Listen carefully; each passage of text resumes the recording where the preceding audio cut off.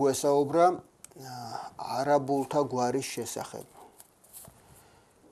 ეს არის ეპონიმური ტიპის გვარსახელი, ერთი შეხედვით შეიძლება ეთნიკური ტიპის გვარსახელად მიიჩნიოს ვინმე არაბს უკავშირდებოდეს და აქ ეთნოსი ამოიცნოს, მაგრამ საქართველოში გავრცელებული იყო ასეთი საკუთარი სახელები, რომელიც ეთნონიმს ემთხოვა, სატომო სახელს ემთხოვა და არ უნდა გაგვიკვირდეს ლეკიც, თურქიც, თათარიც, ჩერქეზიც, ხდება კაცის სახელად.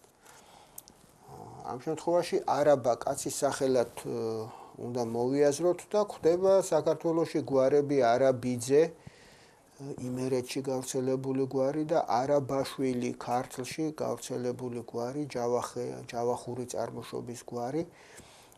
და ამათაც ფუძეში არაბა აქვთ. წინაპრის სახელი კაცის სახელი არაბა. არაბულები ხევსურები არიან ისინი შედიან ხევსურეთის ძირითადი უძველესი თემის სამოგანზუროს თემის შემადგენლობაში მოძმე ჭინჭარაულებთან და მოძმე გოგოჭურებთან ერთად. აი ზეპირი გადმოცემა ესეთი. თითქოს ძმები იყვნენ ჭინჭარა, გოგოჭა და არაბა, რომლებიც მისულან გუდანში და დასახლებულან პირველი მოსახლენი ყოფილან. დღეს არსებული ხევსურული გვარებიდან თორე როცა მისულან იქ დახვედრია ძველი მოსახლეობა კავკაზაურები. რომლებიც დღეს აღარ არსებობენ საქართველოში ასეთი გვარი აღარ ხვდება.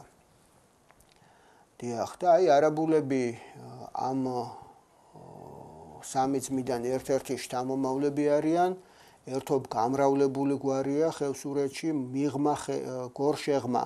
აი გუდანი მთავარი სალოცავი ხევსურების და გუდანის ჯვარი და ეს ჭინჭარაულების სოფელში მდებარეობს და ჭინჭარაულები ხუცობენ ამ სალოცავში. აა გვერდზე დასახლდნენ გოგოჭურები ჭორმეშავში და გორს გადაღმა გორშეღმა ქვია იმ ხეობას დასახლდნენ არაბულები და მთელი ის ხეობა რამდენიმე სოფელია და ზოგიც ნასოფლარი უკვე არაბულებით არის დასახლებული ის ხეობა. დიახ. არაბულების გვარში არის მამიშვილობები ეს ხევსურებ მამანი ასე უწოდებენ ხევსურულ გვარებში შიდა სტრუქტურული დანაყოფებია. ბიჩნიგაური, ჩუჩაყეული, რკინაული და ველგუჯაური ოთხი ძირითადი მამანი არაბულთა გვარში. ძირითადი თორე იქ სხვაებიც არის ზოგი გადმოცემით თითქოს ეს მამანი თავის დროზე გვარები იყვნენ და შეიფიცნენ და ერთ გვარად იქცნენ. ან არაბულის განშტოებას წარმოადგენენ ამას ხრმა კვლევა ჭირდება. ფაქტი ის არის, რომ არაბულთა გვარიდან განშტოვებულა სხვადასხვა დროს ფიცხელაურთა გვარი, რომელთა ნაწილი გუდამაყარში ცხოვრობს ბაკურხევში და ნაწილი ხევში ყაზბეგის რაიონში ვეშაგურთა გვარი ხანდოს ხევში არაგვის ერთ-ერთი შენაკადი გახლავთ. თიანეთის მხარეში ფაშურიშვილები და ბერიკაშვილები ძირად ფიცხელაურები ანუ იგივე არაბულები ყოფილან. ეს არ ეხება ყველა ფაშურიშვილს და ყველა ბერიკაშვილს არიან. სულ სხვა წარმოშობის ბერიკაშვილებიც სრულიად არანაირ კავშირში არ არიან, უბრალოდ გვარსახელი ემთხოვა.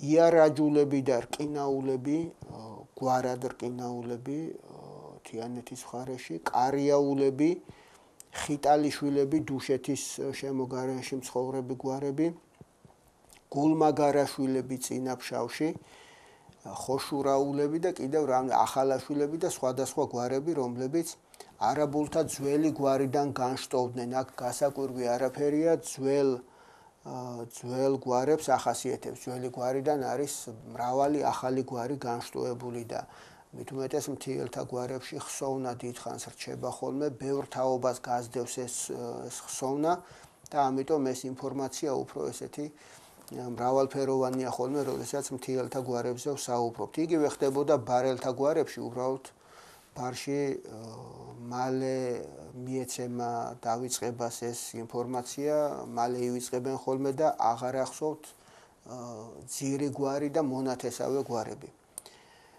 დიახ, უამრავი ინფორმაცია არსებობს არაბულებზე, აქ მოტანილი გვაქვს, აქ არის დოკუმენტური მასალაც, ეთნოგრაფიული მასალაც და შორს აგვიყვანს ახლა საუბარი, რომ ჩაუღრმავდეთ. არაბულთა მთავარი სალოცავი ბუდეხევსურეთში გახლავთ პირქუშის ჯვარი, ღვთიშვილი პირქუში და იქ თავს მოვალეთლიან ხოლმე არაბულები ხევში გადასახლებული ჯუთაში თუ გუდამაყარში თუ თიანეთში და კახეთში ხევსურთა ჩასახლების ადგილებში მრავალ ადგილზე ცხოვრობენ არაბულები ჩამოსახლებულნი თავს ვალდებულად თვლიან რომ პირქუშის ჯვარში წელიწადში ერთხელ მაინც ავიდნენ ხოლმე და წინაპართა სალოცავში ილოცონ. არაბულები მონაწილეობდნენ კახეთის სამეფო ლაშქრის მემარჯვენე სადროშოში ეს და შუაგულ სადროშოში შავხევსურების ლაშქარი ერთად გამოდიოდა.